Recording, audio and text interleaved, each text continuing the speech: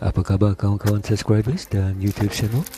Ini adalah suatu pembukaan kotak dan kesan pertama ia bersama Bila Nomad EDC dari Worktop Gear. Di dalam bungkusan package Nomad EDC, ia terdapat sebuah penebat neoprene lencana Worktop Gear dengan pelekat velcro yang seutas tali pintal dan satu set Ulti-Clip Slim 3.3. Nomad EDC disimpan rapi di dalam sarung kydex dengan diselaputi plastik berminyak untuk memastikan bilah tidak rosak semasa di dalam perjalanan ke sini agar mutu tetap terjamin langsung dari kelam. Mata bilah yang berkemasan satin diperbuat daripada besi stainless steel Hitachi ATS-34 yang kuat, tahan nasak, tahan karat dengan daya ketahanan kelenturan yang tinggi dengan tahap sepuhan kekerasan 59 ke 61 RC yang membuat tajam mata bilah Nomad EDC menjadi lebih ampuh dengan asahan saber yang tinggi dengan tulang belakang 90 darjah buat mengerik batang api. Reka bentuk mata bilah menggabungkan dua asahan yang di mana peralihan hujung mata bilah tento atau yokote yang membuncah untuk kekuatan menusuk bertemu bidang mata pisau pada serong utama lekuk ibu jari pada tulang belakang bilah dan juga pada ergonomics hulu gagang memberi genggaman yang penuh, mampat dan selesa. Paduan jari memberi perlindungan pada genggaman untuk mencengkam bilah yang bersama kekapis ibu jari untuk mengepit dekat pada hulu mata bilah untuk kerja-kerja yang halus dengan lebih terkawal dan selamat dengan tampang bilah yang menukik lembung buat memotong dan menghiris.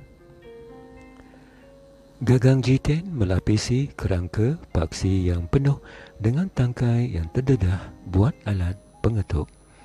Hulu gagang dibentuk mengikut lekuk tapak tangan dan membundar dengan jalinan waffle mesin 3D dan pelapik biru neon yang menjadi garis pemisah membuat bila lebih terserlah.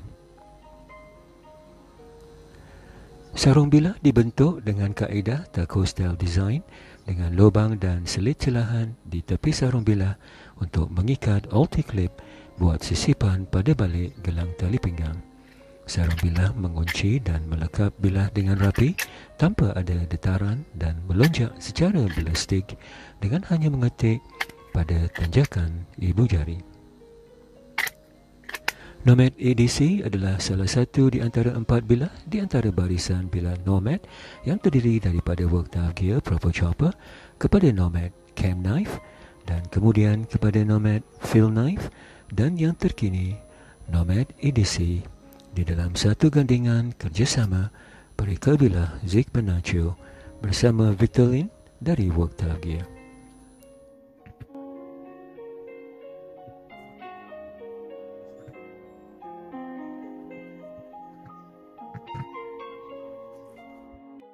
Jika Nomad EDC dibandingkan dengan pisau lipat edisi yang lain seperti Cold Steel Formex Scout yang perkasa ataupun Cold Steel AD15 yang technical dan Spyderco Stretch 2 Straight Spine Lightweight yang versatile. Berat keseluruhan bila 191.4 gram ya dengan berat bila tanpa sarung 157.3 gram dan berat sarung kydex sahaja 34.1 gram. Panjang keseluruhan bilah 19.5 cm dengan panjang mata bilah 9 cm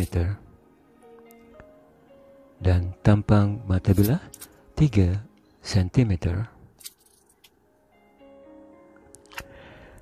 Ketebalan stok mata bilah 3.67 mm yang menirus dari hulu ke hujung mata tento pada 1.82 mm dengan ketebalan di balik tajam mata bilah yang tipis pada serong utama 1.05 mm dan menebal pada serong kedua 37 mm.